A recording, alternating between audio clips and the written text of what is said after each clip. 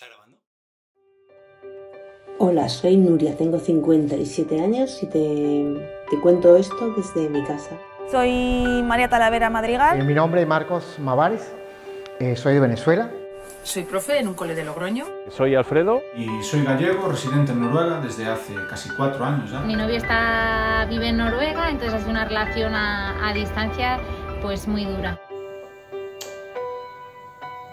Yo definiría con, con dos palabras. Yo diría emoción y diría empatía.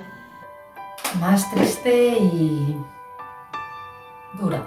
Mi vida durante el COVID en dos palabras es miedo y tristeza.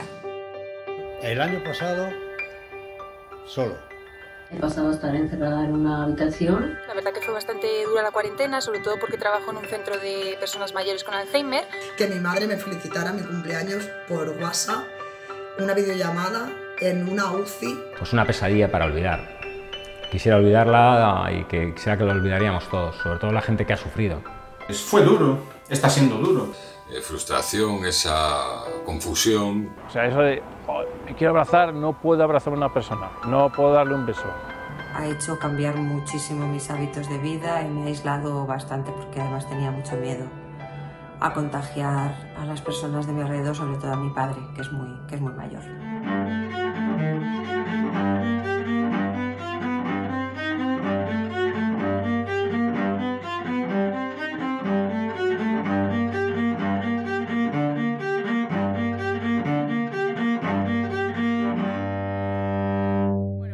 Año ha sido un año difícil para todo el mundo debido al COVID, pero es verdad que podemos sacar eh, cosas positivas. Primero, a saber que la soledad a veces es buena.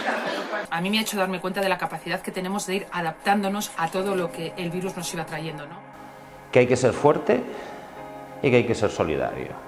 Empatía también se ha visto en gente que, que ha ido a tocarle a los vecinos a preguntarle, ¿necesita que le haga la compra? Decidí eh, ayudarle a hacer la compra, traerle las medicinas y ahora pues, pues nos hemos hecho súper amigos. La gente se ha parado a pensar eh, qué principios y qué valores son los que realmente importan. Vivir al máximo y apreciar las cosas que a lo mejor antes no apreciábamos tanto. He aprendido mucho de mí y de todo el mundo, bueno y malo, ¿eh?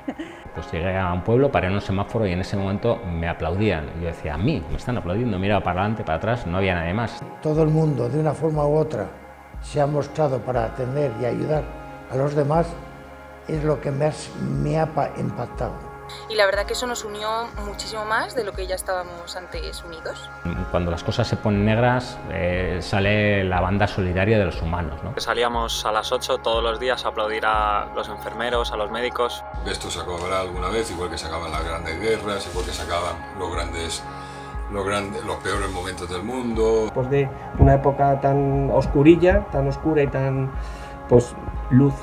Seguiremos juntos y seguro conseguiremos llegar a la meta. Porque vamos a tener todos que remar en el mismo barco.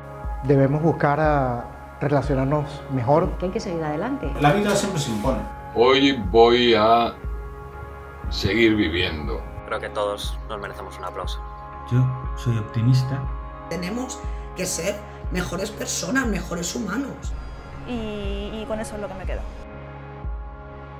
¿Sabéis qué? Mi hermano sí que es un héroe. Mi hermano es voluntario de Cruz Roja. No sé lo que va a pasar. No sé lo que va a pasar mañana. Pero lo que sí sé es que el futuro depende de todas y todos nosotros. Y ese es un pensamiento alentador.